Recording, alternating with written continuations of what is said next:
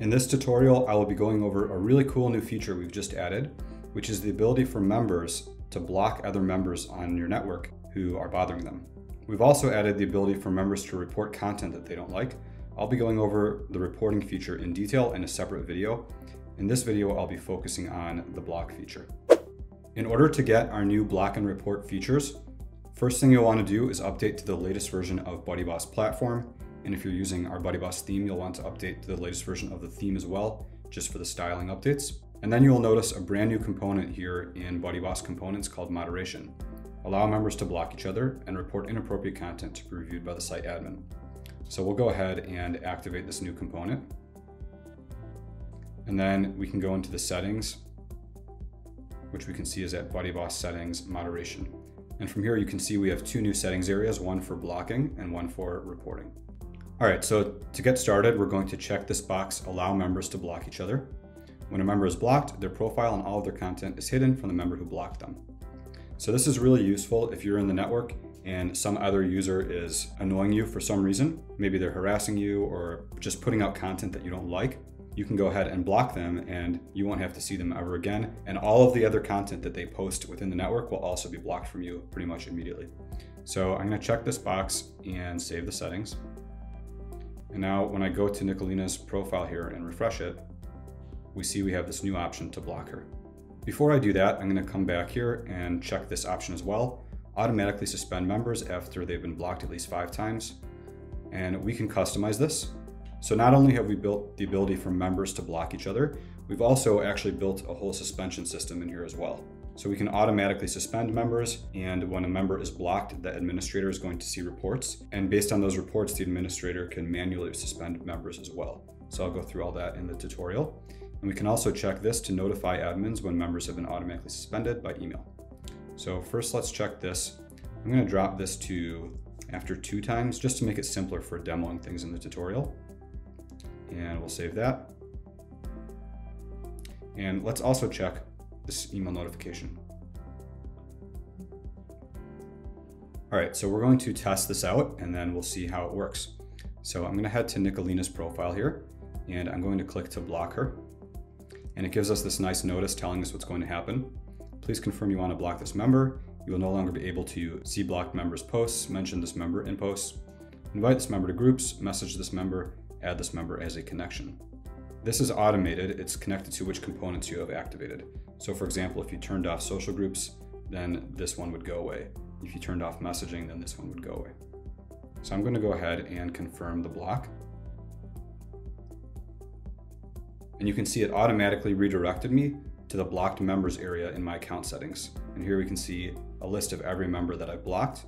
This is going to be in my account under blocked members.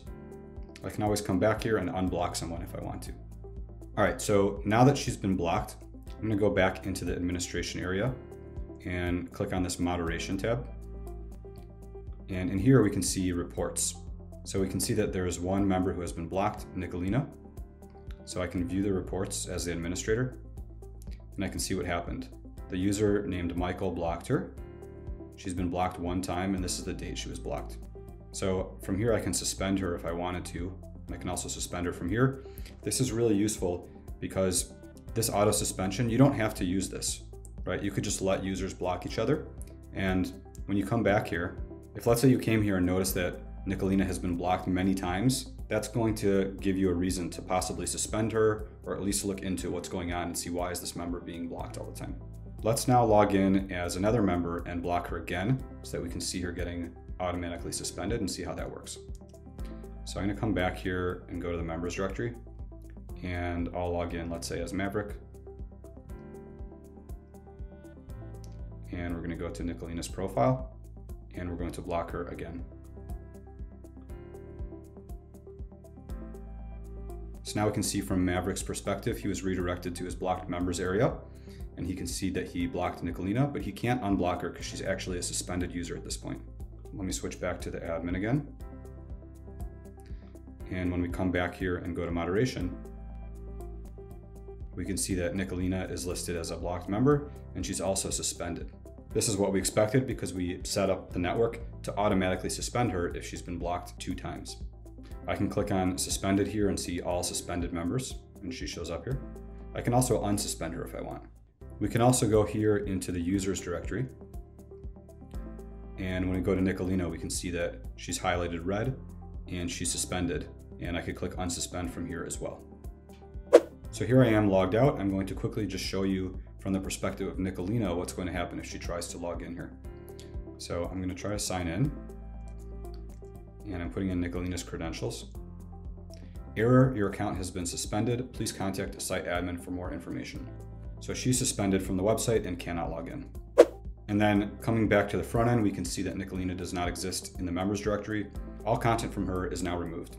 And this blocking feature also extends into the messaging component. I'll go ahead and show you that. All right, so I'm going to switch to Luna so I can see the messages in her inbox. And as we can see, Nicolina was previously one of the participants in this message thread. So we can't just delete the entire thread because other people are still participating in it. So instead we're showing her as a suspended member with her content hidden. The rest of the thread is still active. And then I'm going to log in as another member just to show you one more thing. All right, so I'm going to click on Jessica here and log in as Jessica. All right, so let's say I'm reading this message thread from all these other members logged in as Jessica, and Mateo put this response, and for whatever reason, it really bothered me and I decided I wanna block Mateo. So I can go in here and we can see this new menu in the dropdown, block a member. So let's click that and it asks me if I wanna block a member.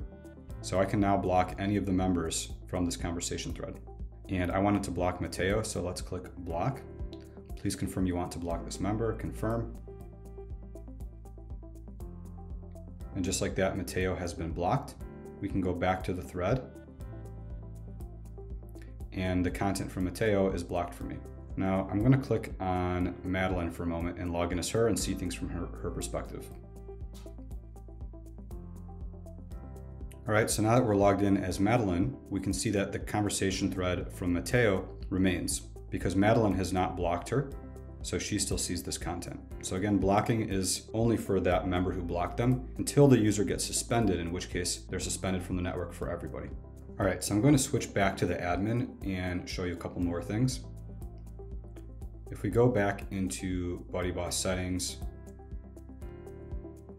moderation, we had this email notify admins when members have been automatically suspended.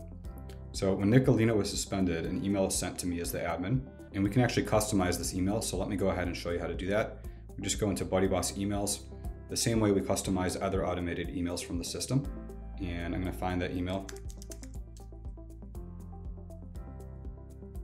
And here it is, site name, username has been suspended when a member has been automatically suspended due to reaching the reported threshold. So if I click to edit this email, we can see the template. The user has been automatically suspended from your network as they have been reported however many times, and you can click to view the reports. So if you want to edit the content of that email, you can go ahead and do that here. And then I'm gonna show you one more thing. If I come back to components and deactivate the moderation component, we get a warning. Please confirm you want to deactivate the moderation component. The reason we're showing you this warning is because all the suspensions and the blocked members depends on this component being enabled. So if I say, yes, I understand, deactivate, and then we come back to the members directory, we see that Nicolina is back, even though she was previously suspended from the network. If I go back and reactivate moderation and refresh, then now she's blocked again. So it's important that you're aware of that. And with that, we've covered all of the major features of the new block member area in our moderation component. We're really excited to get this out to you guys.